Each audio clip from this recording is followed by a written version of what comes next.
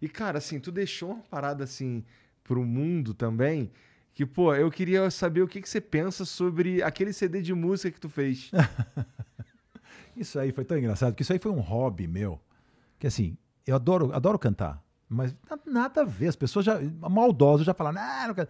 Pode ouvir, pode botar para quem quiser. Aquilo foi, aquilo ainda, depois daquilo, fiz dois anos de, de, de, técnica vocal com o Wilson Gava, que é o treinador, treinador vocal dos caras da Globo. O cara é bom pra caramba. Fiz mais dois anos para me aprimorar depois daquilo.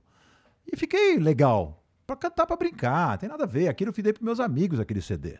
Mas era uma vontade Mas tua. quer ir lá no Spotify ver? Vai ver se eu estou desafinando uma nota daquele CD. Eu não desafino, porque as pessoas não, tem, não aceitam isso. o lado B de ninguém. É verdade. Igor, qual é teu lado B, Igor? Eu, o que, que você lá, gosta de fazer? Eu gosto de jogar Dota, que é um joguinho de videogame. Tá, você gosta de jogar. Você é bom nesse troço? Eu sou ruim.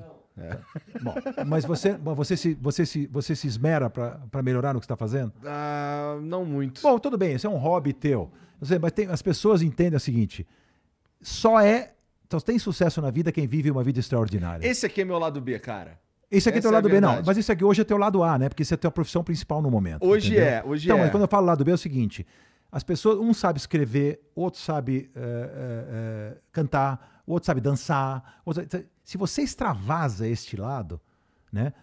Vida extraordinária não é ter dinheiro e ser milionário. Vida extraordinária é fazer aquilo que você ama fazer. Uhum. É o que te deixa feliz. Cada um tem sua definição, como já falei antes, da felicidade para ele. Então, assim, eu amava cantar no karaokê. Falei, pô, eu vou gravar um CD vou dar para meus amigos, porque vai ficar legal. Se não ficar legal, eu jogo fora. É uma coisa divertida. E tô nem aí, porque eu não estou competindo com cantor profissional. Se bem que tem muito cantor profissional bem desafinado, no Brasil principalmente.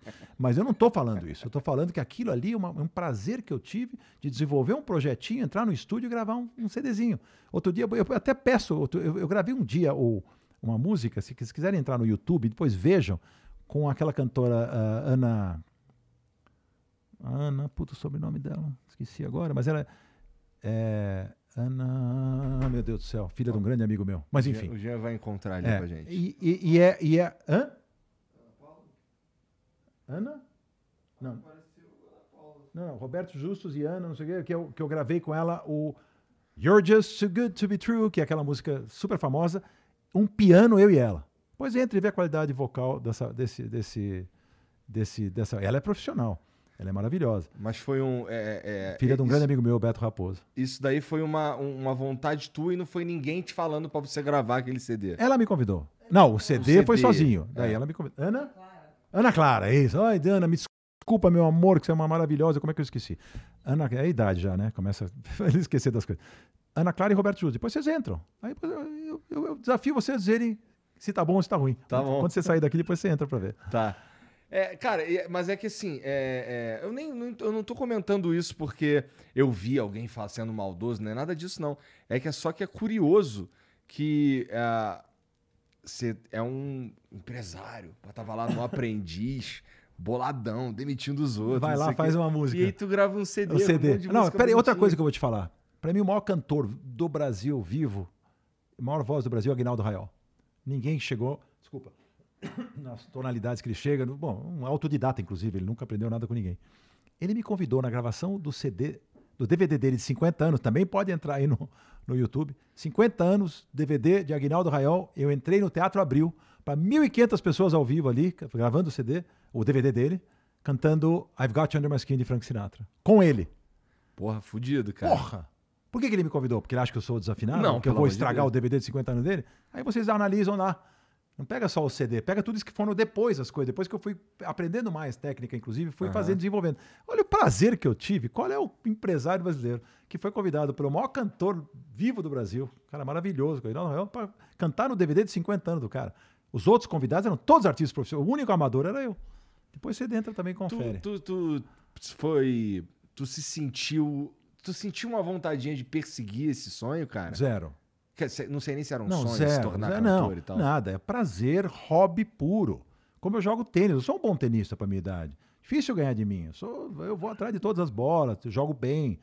Mas não quis. Aí você falar, se eu fosse jovem, pudesse escolher e ser um tenista top 10 do mundo e no circuito, seria um sonho maravilhoso. Eu abriria a mão de tudo que eu tenho de empresário, tudo que eu fiz, para ter sido um tenista, mas quem ia garantir que eu ia poder ser top 10? É. Para você ficar lá atrás não ia ser legal. Mas enfim, esse seria um sonho maravilhoso. Se perguntar se eu quisesse ser um cantor de sucesso na vida, nunca pensei, nem tenho nenhuma vontade disso. É só cantar para me divertir. A gente canta, a gente canta, a família canta, meus filhos cantam, a gente, a gente se diverte no karaokê, a gente se diverte pra caramba. Isso, isso, eu- isso eu amo fazer. Até Mas é hoje. pura diversão, até hoje, pura diversão. Interessante. Pô, maneiro. É que assim, é, poucas pessoas. Pô, você, você realmente. Dizer que você é um cara de sorte eu não, eu não acho justo, porque. Ah, por toda a tua história e tudo mais. Mas é, você é um cara que conseguiu pôr no mundo as paradas que você queria, né? É. E, cara, talvez seja um pouco de sorte mesmo. Ah, um Né? amigo meu brinca comigo, você tem mais sorte que juízo, né? Porque você é muito louco, você vai à televisão, você se arrisca na frente das câmeras, faz uma sala de reunião para milhões de pessoas ouvirem ali. Pensa bem, se eu falar uma besteira ali, eu não tenho como voltar atrás com meus aprendizes. Ou eu perco a moral com eles, ou eu perco a moral com o público, porque o que foi pro ar. Então, assim, é uma, é uma, é uma coisa complexa. E quanto maior o desafio, mais eu, eu fico cutucado para fazer direito, entendeu? Então, assim, tem que ter sorte também, tem que ter estrela, né? Uma certa estrela de você saber tomar, mexer o seu tabuleiro de vida de um jeito que ele seja favorável a você. Vai eliminando os riscos onde você puder e vai fazendo a coisa que te faça melhor. Só é, só tem sucesso quem ama o que faz. No dicionário, amar, o amador no dicionário não é necessariamente aquele que não é profissional, é amador. É amador do que ele faz. Seja o amador do que você faz e não no que você faz. Se for amador no que você faz, você está perdido. Mas se você for amador do que você faz, você vai ser totalmente diferenciado dos outros. Você ama isso aqui que você falou que você passa mal nas suas férias. Por que, que você faz direito? Você me faz vir no lugar mais longe que eu já fui na minha vida sem passaporte mais, mais longe do que isso aqui, só com passaporte eu consegui. Eu levei uma hora e 22 minutos para chegar aqui de carro. Porra, obrigado. Pelo amor de Deus. Mas por quê? Pelo teu sucesso, porque esse é um podcast que eu admiro, que eu acho legal. É, es- espalhar opinião e ideia é uma coisa muito importante nessa fase da minha vida. Eu não acho ruim, acho bom. Sou convidado para um monte, eu não aceito, muito raro, porque toma um puta tempo. Agora, se eu soubesse que você se esconde aqui. Mas se, se os dois presidentes, né, o ex-presidente e o atual vieram até aqui, quem sou eu para não vir, né? Queria que mais pessoas pensassem assim, inclusive.